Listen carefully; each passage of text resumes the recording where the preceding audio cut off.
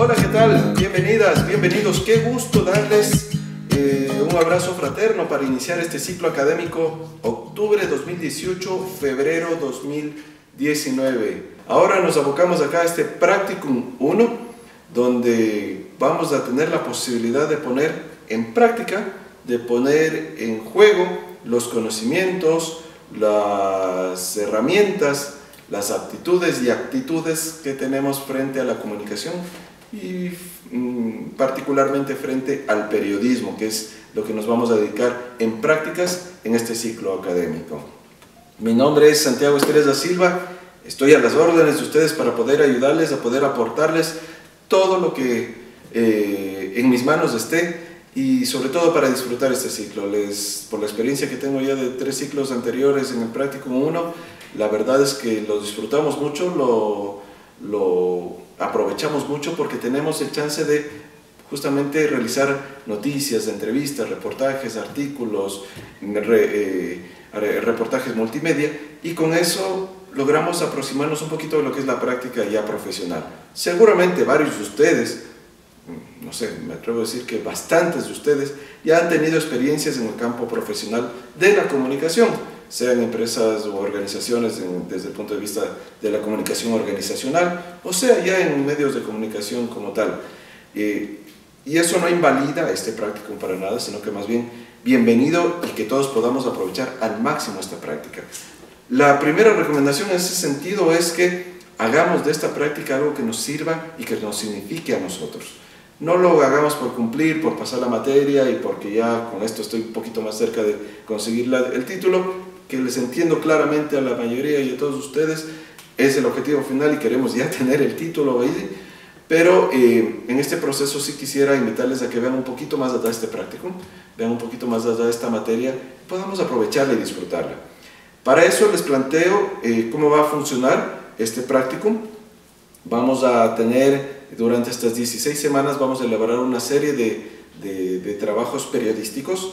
Para eso tenemos un sitio que ya ustedes pueden eh, entrar y ver lo que han sido los trabajos anteriores. Es un sitio, digamos que es una suerte de blog que tenemos que se llama Sala de Redacción eh, UTPL, sala de redacción.utpl.edu.es, si no me equivoco. Si no, ya les, ya les escribo por mensaje la dirección exacta, pero lo pueden encontrar como Sala de Redacción UTPL.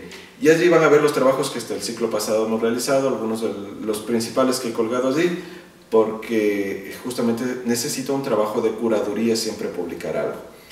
Entonces, ¿cómo vamos a proceder y cuál es la invitación que yo les hago? Como en cualquier medio de comunicación, sea de los tradicionales, prensa, radio y televisión, o sea de los digitales, cuando trabajamos en periodismo, no en redes sociales, no en Facebook, no en Twitter, desde el lado eh, particular o como un blogger particular, sino como un equipo de comunicación como un equipo de periodistas, hacemos un trabajo conjunto, colaborativo. Todos nos ayudamos. Todos podemos aportar desde nuestras propias experiencias y conocimientos a poder hacer productos más eh, elaborados con mejor calidad. ¿Cómo funciona eso? En cualquier medio de comunicación que tenga un proceso de producción periodística decente, hay una persona que se encarga de, hacer la curaduría de los temas y de, las, de los trabajos que van a ser publicados. Llámese jefe de, jefe de redacción, llámese editor, llámese director de noticias, cualquiera que sea el nombre. Esa figura, en este practicum, la voy a cumplir yo. Yo voy a ser su editor o su jefe de redacción, como quiera que, que lo pongamos voy a ser esa persona que voy a proponerles los tiempos, las fechas y los, eh, los géneros a cumplir, los géneros periodísticos a cumplir. Ustedes como reporteros, ustedes como periodistas, son los encargados de proponer los temas, de investigarlos, de cubrirlos, de narrarlos, de escribirlos, de presentarlos y de eh, finalmente publicarlos. Yo como su editor, como su jefe de redacción, lo que hago es un seguimiento allí, recomendarle ciertas cosas, decirte, mira, este tema me parece que puede funcionar con esto de acá, te estás olvidando de contrastar esta fuente de acá, está pasando esto esto adicional, esta foto no está funcionando bien, todos los parámetros, todos los elementos que se necesita para publicar periodísticamente.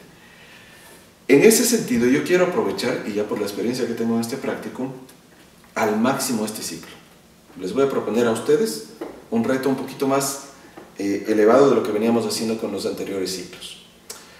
Aprovechando que ustedes están en distintas partes del país, habrá gente en Quito, en Guayaquil, en el oriente, en la costa, capaz ojalá tengamos alguien desde fuera del país, en alguna de las delegaciones fuera del país, ojalá tengamos a alguien también de Galápagos. Como estamos en diversas zonas, en diversas realidades, en las zonas urbanas, en las zonas rurales, eh, es importantísimo que podamos aprovechar esa riqueza que tenemos. Y les invito a que las notas que tengamos que hacer, vamos a hacer noticias, vamos a hacer entrevistas, dos entrevistas, vamos a hacer un reportaje en el primer bimestre, en el segundo bimestre vamos a hacer un artículo de opinión, una crítica periodística, una crónica periodística y finalmente un reportaje multimedia. En todos estos, por favor, ubíquense en realizar algo que sea de su localidad. Vamos a trabajar, como dice un concepto, localmente, desde lo global o desde lo local, perdón, hacia lo global. En lo local ocurre un montón de cosas, en su barrio, en su conjunto, en su comunidad, en su sector, pasan un montón de cosas que la prensa grande, la prensa tradicional, no la recoge porque no les interesa, solo les interesa los grandes temas de coyuntura. Esos dejémosles a ellos. Nosotros centrémonos en las cosas particulares, en lo que pasa en nuestras localidades. Mi invitación es a que hagamos un periodismo local fuerte, que, que reactive y que mm, ponga en vista esas cosas o esos personajes que no son tomados en cuenta en la comunicación, como les digo, tradicional, en los grandes medios de comunicación. Convirtamos esta sala de redacción en una sala para la diversidad, para eh, la multiculturalidad, como se la denomina. Entonces, en cada una de sus localidades, sea que están viviendo en el hipercentro de Quito, de Guayaquil, de Cuenca, o sea que viven en la parte rural, esas historias, esas situaciones, ustedes tienen que conocerlas más que nadie para poder contarlas de la mejor manera posible, periodísticamente, pero desde esa localidad. Y hacerla interesante para que le lea no solo en esa localidad, no solo en, la ciudad o en el país, en el mundo entero. Por eso el concepto de lo local, lo global y lo local.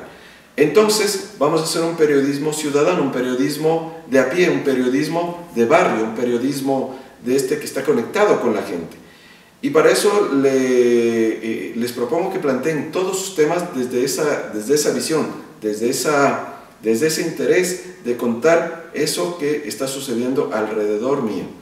Además, eso nos da la facilidad para poder cubrir las cosas. Si ustedes se plantean, ahora que estoy grabando este video, cuál es el escándalo de moda ahora, no sé, los 13 juicios, o 14, ya no sé cuántos van, que, les están, que le están planteando, le están poniendo, le están queriendo poner al expresidente Rafael Correa. Sobre eso leemos, escuchamos, vemos todos los días en, en la prensa, en los medios. O lo que dijo Maduro, o lo que dijo Donald Trump, o lo que está pasando, o el tsunami en Indonesia. Todo eso ya lo, lo estamos leyendo ya. Y nosotros, como periodistas eh, de a pie, nos es imposible si no eh, yo diría imposible, o, tal vez muy, muy, muy difícil, poder acceder a las fuentes reales para poder ofrecer una visión distinta, poder ofrecer una visión, eh, un enfoque diverso de esa, de, esa, de esa noticia o de esa información que quede eh, grande, coyuntural, de impacto.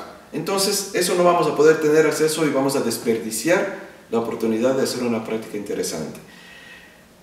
Si ustedes hacen un buen producto, si ustedes hacen una buena noticia, una buena entrevista, lo que les invito además es pensemos esta sala de redacción como una suma de sus propios blogs. No es una obligación, pero me interesaría un montón que ustedes puedan abrir ahora mismo, después de ver este video, que puedan abrir un blog, en Blogspot, en WordPress, y empiecen, si es que ya no lo tienen, empiecen a redactar allí sus propias historias. Hay una recomendación que hacen algunos teóricos para el periodismo, para los periodistas actuales en este mundo digital, de que creemos nuestra marca. nuestra marca de periodistas, nuestra marca de comunicadores. Y la mejor manera de conocernos es a través del trabajo que hacemos. Cuando ustedes escriben en sus blogs, pueden ser por eh, videoblogs, eh, y dan a conocer su trabajo, eh, hay mayor posibilidad de que se contacten con otra, que armen redes de, de periodistas y posiblemente consigan financiamientos, pues, consigan posibilidades de empleo, etcétera, porque están dando a conocer su trabajo.